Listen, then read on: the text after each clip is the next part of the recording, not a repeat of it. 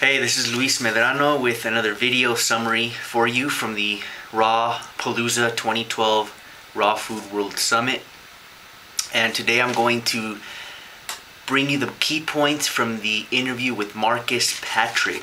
Um, a little bit about Marcus Patrick, if you don't know who he is, he's an actor, musician, and a fitness professional. Um, you've probably seen him in a couple movies or TV. Um, Google him and you'll see pictures of him and most likely will look familiar to you if you haven't seen him by now then um, you probably will in the, in the near future.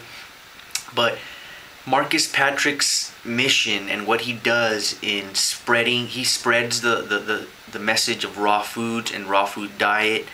And his thing is uh, he, he wants to show how a fit and muscular person um, can sustain himself on raw foods and raw plant-based nutrition and he is a living example of this. I mean, him among many others of the, the fact that you can be muscular, be strong, and be fit on raw vegan foods.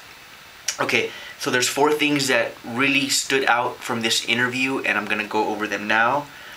Um, first of all, I kind of touched on it already in the introduction, and that's that even a fit and muscular person can improve their health with foods that what Marcus calls life force foods. So just because someone's fit and healthy and on the outside and they look muscular and they look fit and robust, you don't know what's going on on the inside. So uh, Marcus tells a little about his a little bit about his story on how um, he was already a, a good-looking guy, fit, six-pack abs and cut and everything, and yet when he turned to raw foods and whole foods, he felt his health improve dramatically.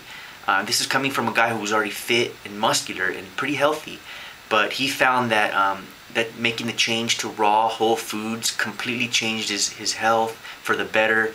And this just, just goes to show that even fit and healthy healthy muscular people can improve their health big time with raw foods. Um, second point, fear versus integrity. Um, basically, Marcus went a little bit over what the difference is between fear and integrity and how the topic of raw foods and healthier living fits into this whole picture. And basically, um, he talked about fear is conforming to non-truth. So basically, you think what you're you think you're doing what you're supposed to be doing, but it's not really true to your being. Like you feel that it's not true, and you know that there's something more to it versus integrity. Integrity is being true to the, what you believe in, um, following your word, knowing truth when it hits you in the face, when it's right there in front of your face. And um, integrity takes courage.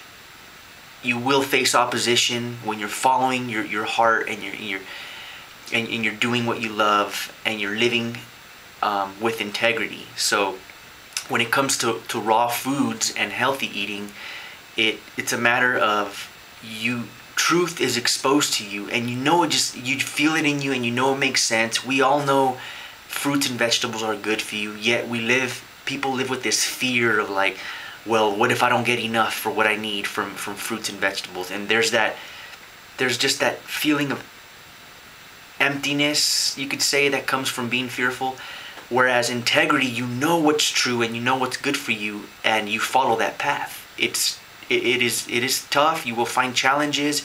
You will face opposition, um, obstacles, and all that. It takes courage and and you know the power which you have in you to to live the life of integrity. So you can do that. Um, the other third point was food consciousness and the connection with the sun. Um, he went in deep into the, the consciousness of food and how when we eat whole plant foods in the raw form, we are literally taking in energy from the sun.